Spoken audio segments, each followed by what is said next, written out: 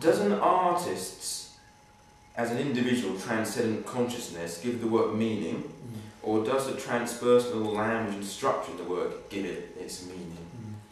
Mm. Uh, I, the answer I would like to give, uh, which I get much less confidence in years goes by, is that the artist uses the transpersonal structures of meaning Mhm. to communicate a personal meaning. Right, Yeah. and couldn't do it otherwise. sure. Um, if you said, I'm going to invent some words because there are no words to explain what I want to say, Mm. and um, I invent colourless green ideas sleep furiously. Right. You know, that sums up what I want to say. Uh, what, well, what did you mean by colourless? Sure. What, you're going to invent another word? Yeah. And that way you can't say anything. Mhm. Um, if you're going to say anything, you have to use the transpersonal structures of the language. Right. Um, there is a twist on this, by the way, which I, one of my few contributions to originality, which I'll come to in a moment. But you use the transpersonal structures of the language to communicate your meaning, Mhm. with one very interesting twist, um, which, which I get from Wittgenstein. The structures of the language are not closed. Right. That was what Derrida went beyond Mhm. Often, well, he didn't actually because he was too wild, but there's always a sense in structuralism of the structures of the language being closed. And you know, you just use them and you operate them, and then someone can read them off by some sort of automatic process. Um, what I then thought um, dawned on me very strongly is this how creative we are with the structures of the language. Mhm. And my favourite example of is, um, is the following. Um, as children, we learn the word vivid Mm. with respect to colours. Right. And little children love vivid lipsticks and Sure. vivid colours. One day, you said, somebody says, my example of my students was the Tom Lehrer song, Soon you'll be sliding down the razor blade of life. Isn't that horrible, sliding down a razor blade? It's advice to students using leaving university, soon you'll be sliding down the razor blade of life. And now I say, isn't that a vivid term of phrase? Mhm.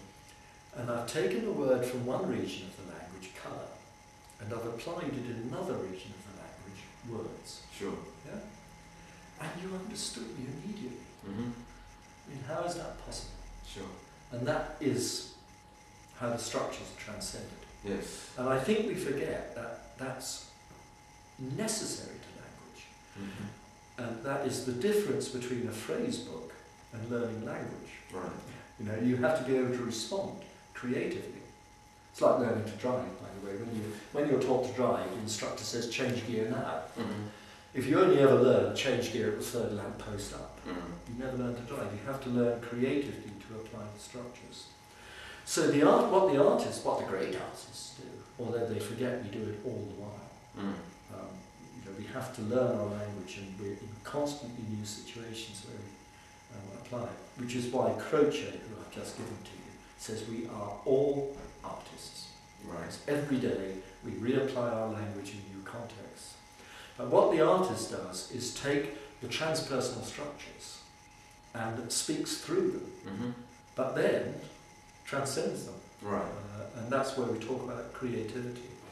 Uh, but it's the artist who speaks. Sure. Even though it's a frag, I now think the artist is a fragmented soul. Right. Right. Um, but that fragmented soul speaks. Sure. Sure. And if you say, what is the meaning, Mhm. you're going to have to say, what are the meanings? Right. Right. And, Right. um, uh, yeah. But I still have this car- little Cartesian niggle in the end. There's something that holds it all together. Yes. And Yes. that's me. but I. I have to work on that. Thank you. Last question then, Colin. Um, intentists are a collection of artists, poets, and musicians who believe that all meaning is the imperfect outworking of intention. Yes. What are your thoughts on this movement? I think that's absolutely right. Um, can I just borrow my Croce for a Oh, moment? Someone just wanted to read. It might actually be in that book, but um, uh, I think that's absolutely right. The bit I love about it, and when you wrote to me, or when Gary wrote to me, you sent me, and I looked on the website, and I Mhm. saw that, and I thought, oh Lord, you know, I've been saying that for years, and somebody's now actually believed me. although you, hadn't, you didn't know me when you said it. Yes. Um, but there is a passage in Croce where he talks about the creative process, and um, oh Lord, it's about it's about valuation. Right. Um, and I bet now I've got my glasses as well. Um, I can read, but I'm not it's like um, he says. Um,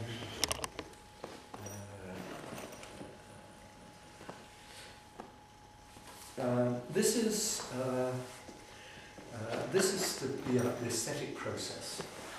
Individual A seeks an expression for the impression he feels, or of which he has a presentiment but which he has not yet expressed. So you say, you know, as an artist, I have a sort of thing, I want to do this, and I have an intention to work this out, Mhm. and I'm not sure what it is yet. Right. Um, now you try different words and phrases, Mhm. or you try different colours, or you try different tones, right? And you fiddle around. Sure. Um, I think people forget how often artists fiddle around. Yes. You know, probably going to fiddle with this. Um, he seeks the different words or phrases which might give him the expression he seeks. I forgive the he, uh, but which must be there. You know, they must be there. I'm going to get there. Mhm. Um, I always think of Hodgkin saying, "I spent 11 years on that painting, you know, and I've got it." you know, Yes. uh, But um, so you try combination M and you reject it as inadequate. You try combination N and you can't see or you can't see clearly. I mean, that's the imperfect bit. see. Mhm. The expression still eludes them. Vain attempts. You now draw near, you now draw away, and of a sudden you find the expression you sought. And it almost seems as if it forms itself spontaneously in you, and you say, There is light. Now, what I wanted to ask you about that was um, I can see, um, the way you put it again was how? Um, we believe that all meaning is the imperfect outworking of intention. Yeah. If the imperfect means, you know, you try this, you try this, you never quite get there, Mm. um, I think that's absolutely right. If it suggests you never actually bring it off, Mhm. um, I think sometimes they do. Right. I think what you might be groping for, though, is that when you've brought it off, there's still a, a surplus uh, Mhm. which can be worked through by other people. Mhm. And it's, um, um, the work is never finished, done, over and complete. Sure, sure. But I think sometimes I wanted to say um, Keats's Ode to Autumn, um, certain bits of Mozart, you know, they're just perfect. Right. You don't want to add to, you don't want to take away from them. Um, it's true that there's a surplus there that I might hear that piece of Mozart at a particularly crucial time of my life. Mhm. And whenever I ever I hear it again, that time of my life comes back. Right. So that the artist can never, um, in that sense, say, there it is, Sure. it's finished. Yes. You know, take it or leave it. Mhm. That, that's not in your right to do. Mhm. Um, but if anybody understands you, they've got to understand you. Sure, And sure. that's, that's why you need to be there. Yes, that's yes. why I'm so sympathetic to what you're doing. Mhm. Or strength to your elbow and all that. You know. Excellent. Well, thank you very much, Yeah, Colin. sure. Um, nice to meet Yes, you. Thank you. Thank you. Yeah.